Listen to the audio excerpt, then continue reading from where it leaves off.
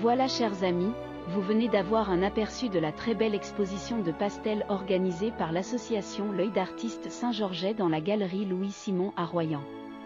Je vous invite à suivre l'activité de l'association sur Facebook. Au revoir, à bientôt.